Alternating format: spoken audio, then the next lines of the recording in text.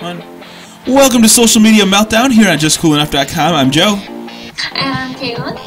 How you doing, Katelyn? How you been? I'm doing well. How are you? I'm doing well, also. Do you I think? like Uh, very I- snazzy. Great. oh, ah, very nice. Yes. Uh, we are talking about this week. Well, what are we talking about this week, Katelyn Shelby at Katelyn Shelby on Twitter? I mean, all the news right now is all about Facebook. So why shouldn't we talk about Facebook? Well, it's really hard to get away from Facebook when you're talking about social media and Exactly. and I mean like Facebook is the the powerhouse. I, I think like Facebook is kind of like the place to be when you're talking about social media, and especially when you're talking about advertising. Uh, lots of, especially small businesses, like to utilize Facebook for for advertising because you're able to target a demographic of people that are close to you, and you can kind of track and see your return on investment. But um, maybe it doesn't work so well for larger companies like GM. Exactly. I mean, if you're gonna think in terms of online advertising, especially social advertising, you're automatically just gonna go straight to Facebook. I mean, there's no giant out there bigger when it comes to a social network, and um, but yeah, and, and as we've seen in the news, you know, last week, GM decided Facebook advertising is not for them, uh, and they made a very public statement um, and pulled out $10 million in advertising. No, And I mean, $10 million means nothing to Facebook. Like, they could care less that GM left, basically. What hurts them is the fact that they have now told the world that they don't find this as an effective form of advertising and it's not worth their money. Okay, so that that seems like pretty harsh words, and especially the timing of it is what really kind of made me like, what? They they did this. They did this the day before Facebook's initial public offering was was on the table. Uh, like it was like the night before, like right before. It was the next big news. It was GM drops Facebook or like the Forbes article. I loved their title, which is GM it doesn't like Facebook, and um, so yeah, the, I, I think that they were kind of sandbagging the Facebook IPO. IPO. I think they were like, you know, like you're just such a young, fresh company. Like, do you think they're jealous or something like that? I, I, I honestly. Doesn't it seem that way at least? Like maybe maybe I'm just pro- projecting, but it seems that way. Here's my other thing. I, I work in automotive, and this is going to sound really awful um, of me. And, I kind of wanted to ask my manager's opinion, and then I was like, I don't really want to ask her because I feel like I should know this. Um, does does GM have any like super hip or like cars that are marketed as being super hip? Yeah, yeah, they So, have like, the- they have Ford the- has the Fiesta, and Well, and- GM has the Chevy Sonic, which is their small, like, super active car. And of Mhm. course, they have the Camaro, which is, like, you know, a, a fast kind of car. but, But, that goes back more to a more traditional. it, it does. But the, the Chevy Sonic and the Chevy Cruze are definitely marketed towards a younger, uh, young professional demographic. Okay. Or, or maybe even something like a college student uh, who's gotten their first entry level job, that kind of stuff. The Chevy Sonic and Cruze are both very much part of their marketing. In fact, uh, I see a lot of advertising for Chevy on, on Hulu. Hulu and Chevy, Oh. yes, yeah, absolutely. Uh, at least the way the ads are tailored for me, I get a lot of car ads, I get a lot of ads for cell phones and, and that kind of stuff, and Yeah. uh, video game ads and things like that. But um, so I see a ton of Chevy ads. I probably see more Chevy ads on Hulu for the Chevy Sonic and the Chevy Cruze than than I see for any other car brand. Um, so so I I think that once you reach a critical mass, you might not necessarily need to be on Facebook all the time because if something you're doing is worthwhile on the internet, it's going to be shared on Facebook. It's just, I mean, Facebook is kind of part. It, Facebook is the internet experience for a lot of consumers, for most consumers, and what happens is if there's something cool, like they drop a Chevy Sonic out of a C-130 airplane and they make it parachute down, which they did, and somebody says, "Whoa, that's nuts," and they shared it on Facebook, it's gonna get on Facebook regardless. Like they don't need, they don't. I, I think it almost takes away from a brand when I see like, "Do you like fixing cars?" do what you like to do, or you know, do stuff all day that you like. And it has like a weird picture of some weird car, and then next thing down is like a a Coca Cola ad. I, I think when you put ads together from like different kind of companies and things like that, uh, maybe it does take away from it. Yeah, and and I'm on the, the Chevy Sonic page, and and it's it's okay. It's a nice, cool looking car, by the way. I, no, no, I I mean their page. yeah, I know. Just okay. So we're looking at the web page, not the car. It- and it's it's okay. It's not mind blowing. I've seen much better automotive Facebook pages than this one. Um, I know that that the switch to timeline took away a lot of the really cool features, um, like the friend gating and, and the the setting of a homepage. Now it just automatically goes to your timeline. You can't decide what page it goes to. Um, which kind of sucks, but at the same time, they have some cool stuff on here, but from what I can see in the last couple of posts, they're not really advertising these other pages that are Mhm. on their Facebook. Which, so if you know how pages work, it actually has to be a pull marketing. You have to tell people about it so they actually come back and and, go to it. And then Um, also, I mean, there's th- with with Chevy Sonic ads that I've seen. There, there's no real good call to action in it either. Mhm. There, it's just it's just an ad, and maybe may, maybe are are you going down the path where you feel that maybe Chevy isn't utilizing this advertising medium as as well as they should? They have some really great programs. It looks like in here, um, different marketing um, kind of ploys to, to get people interested. But what people are going to see, they're not going to visit the Chevy Sonic Facebook page every day and go and look at these other tabs. They're only going to see the statuses as they show up on their on their page. Mm-hmm. So I mean, you would have to be going in and being like somehow drawing them with the the, the link back to that tab to Mhm. get them interested. And I don't really see much of anything like that on here. Um, so I would have no idea that they have this um, try to kickflip.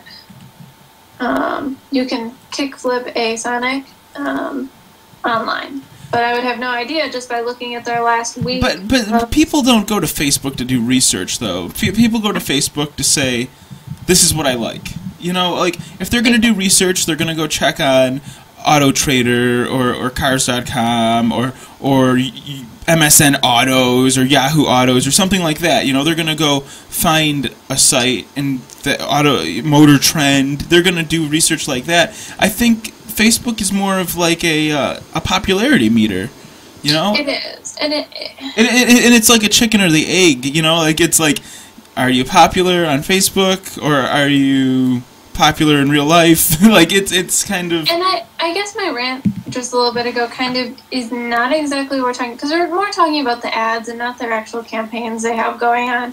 Um, so th- we're specifically GM is not talking about taking away their pages as I understand it. They're getting rid of um, their actual ad space that that they have bought on the side of of people's um, Yeah, profile. They're still going to be using Facebook, but Yes. I, I mean, I think that would be dumb to completely take your products off Facebook. But the 10 million that they had towards, which is not much, by the way, No, I, I mean, in the in the big scheme of things, that's nothing.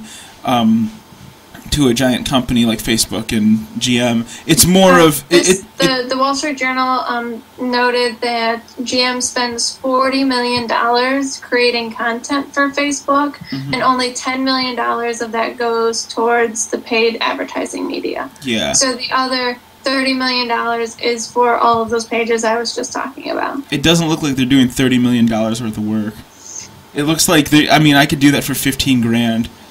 Yeah, Like I- that's that's how much it looks like they're doing. I mean, I'm, I'm assuming it has a lot of social tie-ins back to their website and all kinds of you know cool graphics and interactive crap and whatever.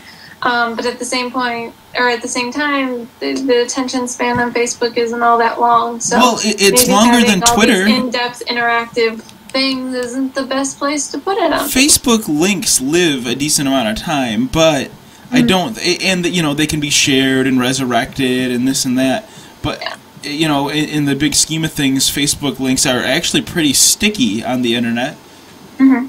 Um, there's not a good search feature though. So like if somebody's looking for a specific thing on Facebook, like you would have to go to this timeline and be like, I think it was around January that this happened. Yeah, I can't go. I want to know what like everyone I know or everyone in the world is saying about the Chevy Cruze. well, and you know, I like you can go to the Chevy Cruze's Facebook page and see what people are saying there. But you also have to keep in mind that if I go on the Chevy Cruze's Facebook and I go, my Chevy Cruze is crap and is the ugliest, nastiest vehicle I've ever driven in the entire world, it's probably going to get deleted. They have the right to delete that. yeah. So you have to keep in mind there's some kind of censorship. Unlike if I went on Twitter and I want to see what everyone is saying about the Chevy Cruze, I can see that and no one can ever take it down. Yeah.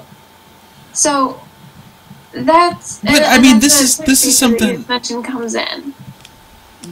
You, I, I remember you complaining a couple weeks back, like you didn't like the social search that Google was implementing. This is exactly what Google's trying to do with their with their new social searching.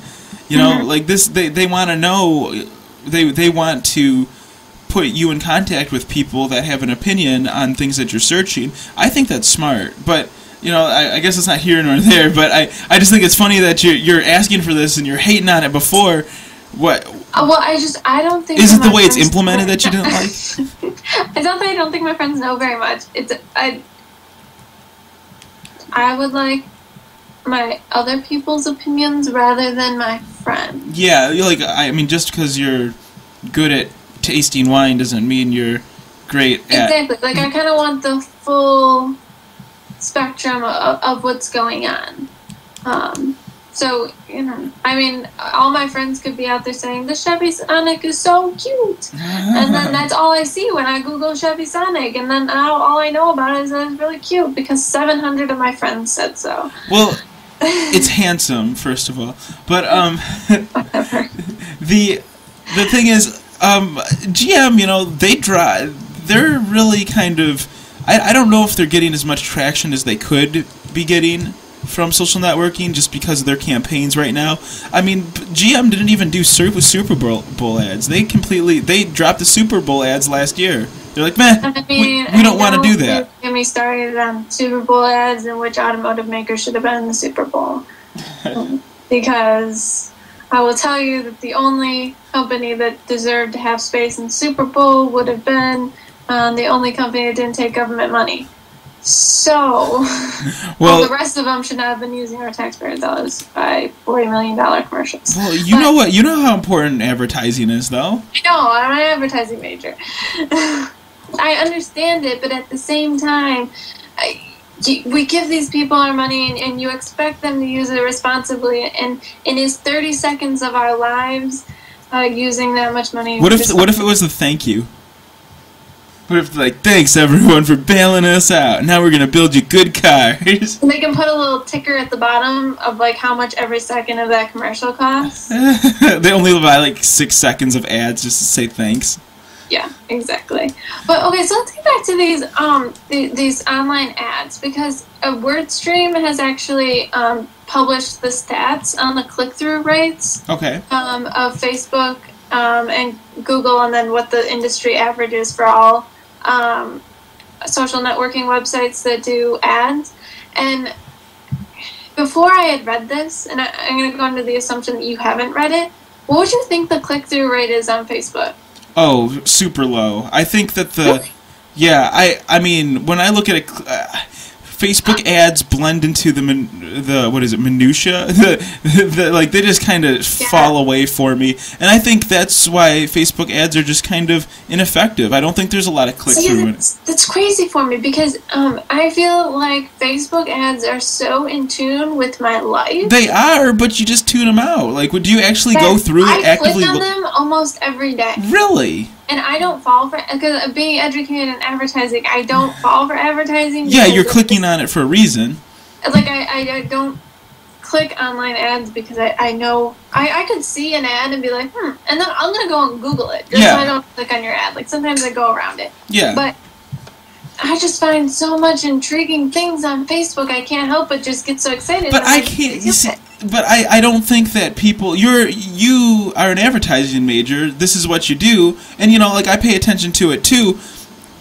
But Like That- the newest Coach bag is on my Facebook right now. And right now, I mean, the advertising is spot on. It is exactly what my interests are. Right now, I'm getting advertisements for a Fiat 500. I Totally just cool. website is not available when I Hmm. clicked on the ad. But the thing is, like, I I don't see very many people clicking these ads because they've already tuned them out. These kind of ads are are almost like the. I I mean, they're like the bird poop of the internet. They're just there. They, I mean, like I, I can't really think of a, a better analogy. They're also really um, repetitive of the same ones over and over. Uh, it's gotten to the point that, that ModCloth, the, the vintage inspired clothing website, shows up so much in my advertisements. And I also, grant, I buy a lot of clothes from there that I almost use it as a bookmark. Like I'll be on Facebook and I'm like, I'm gonna go look at clothes. Click, because I can click right here because I always know there's gonna be a ModCloth ad on the side of my Facebook.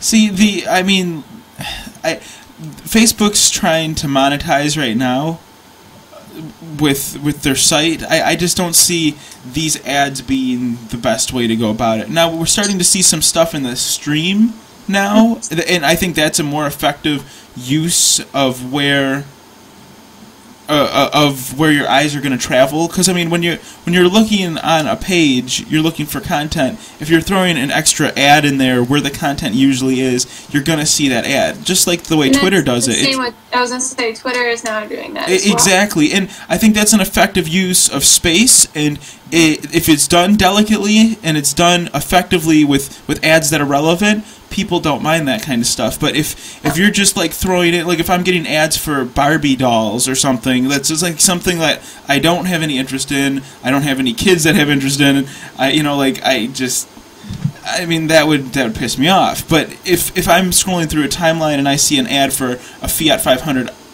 you know, I'm I'm perfectly fine with that. I might even click on the thing if it's a compelling ad. Um, well, I wanted to, to let everyone know these stats. Um, Oh, so yeah, yeah. The industry average for the click through rate on an a- on an advertisement on any social network um, is basically 0.1 percent, which is kind of low. But but I know Google they outperform the average of the industry. Yeah. So the, then the Google average is 0.4 percent. Mm-hmm. So, I mean that's really awesome. Um, Facebook's is 0.051. That doesn't surprise me. It really doesn't because I, I we're, we're so used to the Facebook layout and the ads. Although they're tailored to us, I think I bet you fifty percent of those clicks are just misclicks. You know, like I don't I don't see very many Yeah. people clicking on it. The Maybe only just- time I've seen normal people click on the ad is when it's those T-shirt sites that say, say like funny things on T-shirts. Really? That was the only time I saw somebody in the wild click on a Facebook ad, and I look for this stuff. I'm looking. Like I. I, I thought it was weird. like I thought it was weird that I wasn't clicking on them because they're so good. So then I started clicking on them. so you felt like you had to, like, um, yeah, I don't know. I just um, I try not. I mean, I spent four years studying advertising and, a lot of the psychology that goes behind it, and and what advertisers do to entice you without you even realizing that they're doing it. And um, so there's a lot of stuff I don't do, and that's why when I when I give a shout out to something like I I legitimately mean it, um, because I usually only go by word of mouth. Um, yeah. kind of stuff, which is why a lot of times, um, it's, as much as I hate to admit it, but I'm usually like a couple steps behind early adapters because I don't see some like awesome commercial on TV or some article on Mashable that was obviously written by this other company's PR team and then Yeah. sent out to have it posted all over the place. And uh, I don't, I wait until you know the reviews become mainstream and all that kind of junk. Um, so when I clicked on it, I thought I was, you know, thought I was being special. you're you are being special. You're I'm one of just one of suckers now. No, you're not a sucker. You're one of the point zero zero four percent or whatever. That that- you are. You're part of the minority that clicks the ads. Yeah. I didn't actually think it was going to be that low. I thought it was going to be closer to one percent. To be honest. Yeah, and and it's, that's just That is kind of mind. mind blowing to think like there are companies that live and die by these ads, and Mm-hmm. the, like you really would have to dump a substantial amount. But the thing is, you have to. There, there's different ways of advertising, like the giant Coke can that's out in Times Square. Like Mm-hmm. that probably costs like three million dollars a day just to have there. Probably. You know, and and you know what kind of return on investment is Coca Cola seeing on that? I mean, it's all about location and, and what sells in that medium. So, I mean, the giant Coke bottle, maybe all those stores surrounding it have now been bought out to only sell Coke products during that period of time. So now they're selling a whole lot of Coke in those areas. um, and those are the things that, that you a lot of people don't realize happens. But if they're going to do a huge guerrilla marketing, well, then they go to all these mom and pop shops within you know a mile radius, and hey, you can only sell Coke for the next four months, and we're going to pay you extra to do so. Yep. And uh, so it's just, and a lot of what people are saying about this GM pulling out is that people don't shop for cars on Facebook. People don't shop for anything on Facebook. no, that that's Uh, true. Facebook sells lifestyles. So Um, Facebook doesn't sell anything. no, well, it, it sells lifestyles. So, um, Well, well, define that for me. I don't know what you mean by that. so your lifestyles build through basically what you see other people doing, and and you you tar- start tailoring the kinds of people you're friends with and the kind of people you interact with, and then so the more people. Okay, so let's take a step back. So Facebook's timeline or um, newsfeed, I mean, works um, by if I am visiting the person's Facebook page often, if I am talking to the person um, a lot, um, as long as I'm having a lot of interaction with them, their stuff will show up on my feed. If I'm friends with someone and I haven't talked to them on there in two years, I might see one out of every 12 of their statuses. So Facebook has started to figure out which people your personality matches with. Mhm. So then they go in and they figure. Um, so you and I have a lot of interaction. So Facebook thinks that um, we have similar personalities. So when they see you're looking at, I don't know, new pink colored pencils. Um, Is that an ad you have on Facebook? You could have just went on Facebook and found something. no, okay, so you're looking at the newest Coach purse. Okay, I- am looking at the newest Coach purse. Let's be a little more realistic. Okay, okay. Um, and they're gonna see that you kind of like some designer stuff, but you've never really looked at Coach before. So now they're gonna be like, well, they have similar lifestyles, so let's try this out on him. And they're gonna send you the Coach um, advertisement. So they're building lifestyles around people. So now you're gonna see that. Well, Coach is something I should probably like because I know that these ads are tailored to me. So then you're going to start investigating why this was brought to your attention, and then your personality starts to change about the way you think about things. Yeah. It's kind of, it's really in depth. It's more subconscious though. Like you're not gonna, you're no, not gonna. and, and these are things you're going to think about, but Yeah. this is what's happening with Facebook. And you know what? I could see, I could see where uh, I, their their algorithm is playing a part. Like I am not into comic books at all, but Hmm. a lot of the people that listen to Just Cool Enough or I've interacted with in the past are totally into comic books, and I get a lot of like um, comic book stuff on my my thing. I, it's not relevant to me, but I and I always do press the report. This ad is not relevant because I want my ad experience to be awesome.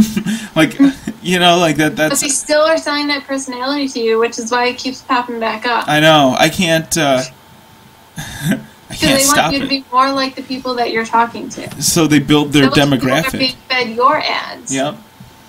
Well, let's see if we get to. I'm gonna like a couple car things and see if some more car stuff pops up in your. So the weird thing is, is that um, I honestly don't think I ever go to the Coach website. However, I do get a lot of ads for it. Um, but my best friend works at Coach and is a incredibly avid Coach shopper, and and I think that's where those ads are coming in. Um, I mean, I only own one Coach person. I bought it when I worked there as well, um, but I never really went on their website. So I think they know that her and I talk a lot on Facebook, and we both um, so, but then, so like something like th- this just isn't effective, though. That's what G- GM. It came down to GM saying this isn't effective. This is our our money isn't being spent well right here. Why Mm-hmm. are we going to buy these ads on the side? I side with them. That makes sense to me because I don't think they're going to get any more brand loyalty or any more popularity.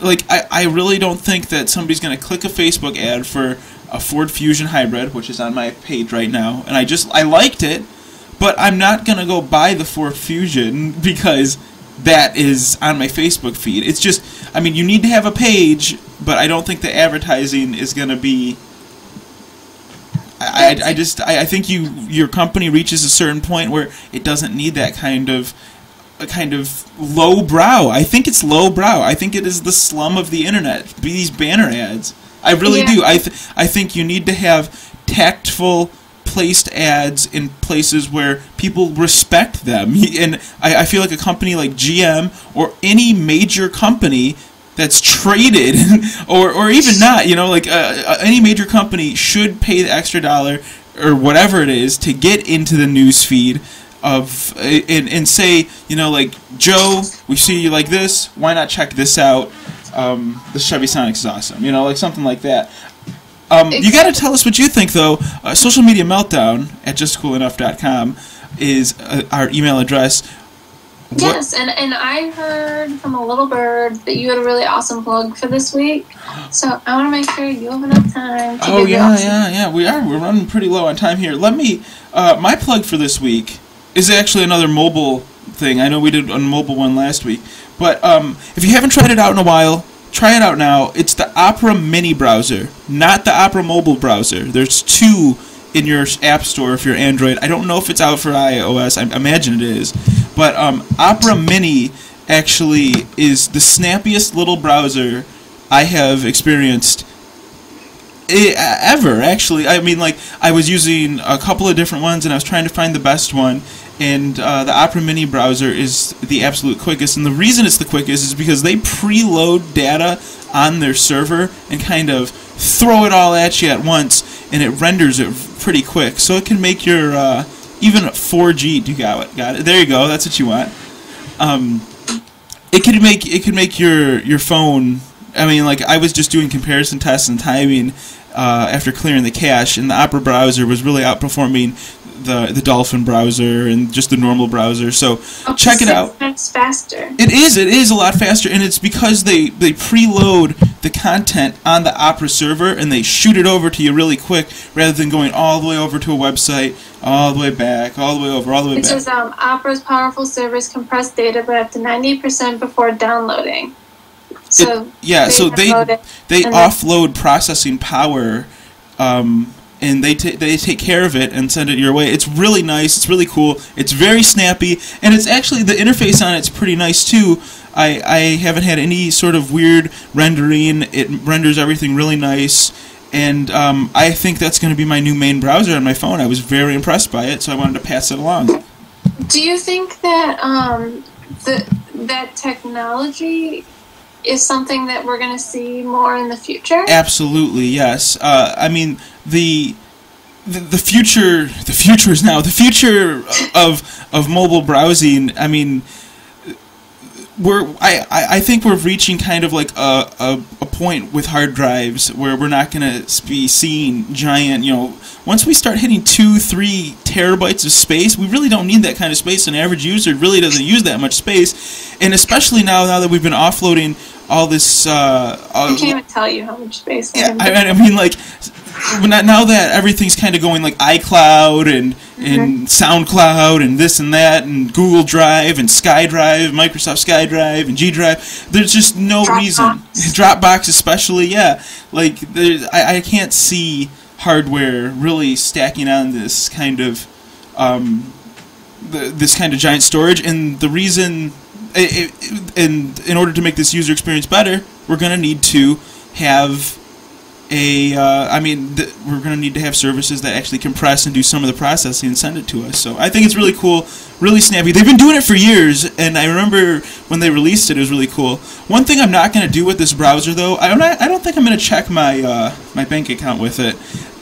They do preload it on their server, and I'm sure it's secure, but I still feel like I'm gonna use. I mean, I know it's an HTTPS and this and that, but I, I am gonna use just a normal. I want to communicate with the bank site. Kind, you know, I don't want a third party kind of processing yeah, my bank and, data. and that's a, kind of a good move. So, so yeah, like that. That's kind you of my only know, and it's with- just one less uh, little worry you can take out of the equation. Exactly, exactly. So that I, I I definitely recommend it if you're gonna check your bank.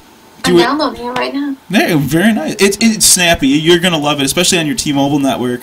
Um, It's been painful lately. has it really? I was actually I was I was thinking about going to T-Mobile and getting a, a Galaxy Note. Sh- should I not? I mean, I mean, it's not bad. I, T-Mobile is not. We're in the Detroit area, by the way. area. However, with my factory unlocked iPhone 4, I cannot use um, 3G or the 4G. Then I mean, you- 4G anyway. So I'm on edge. You are gonna love this Opera browser then, because it it will make your life a lot easier. I, I bet you you're gonna see at least three times the speed. I'm so excited. You you should be. Well, I'm glad I'm glad I could help out, but definitely check it out. Opera's a good company, and while you're at it, you might as well check out the Opera browser for your actual computer. It's uh, it's a good browser too. Okay. I'm, I'm like a browser fiend. What, what browser do you use? All of them. I do Currently, Do you use certain ones for certain things, or you just whatever? You know, like uh, Chrome is definitely my primary primary browser, and the reason is because it syncs between all the computers and devices that I'm on, and that's why I really like it. But I use Opera, I use Mozilla, I use Internet Explorer, I use Chrome, and uh, I mean, I, Internet Explorer? yeah, yeah, yeah. Internet Explorer 9 is actually a very nice browser. I'm kind of testing that out right now. I like I like to know what it what's out there. I, I can I get to my plug real Oh, please, please plug away.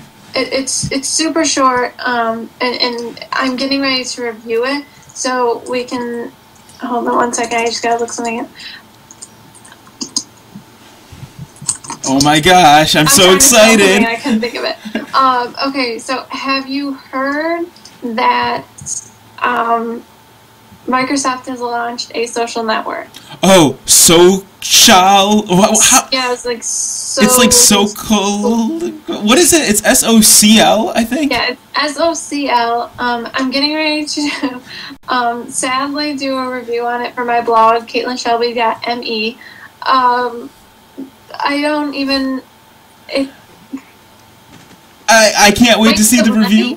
It's going to be my, my right off the bat. Um, from their main page, I can't find. If, if a social network appears and no one's around to join it, then does it exist?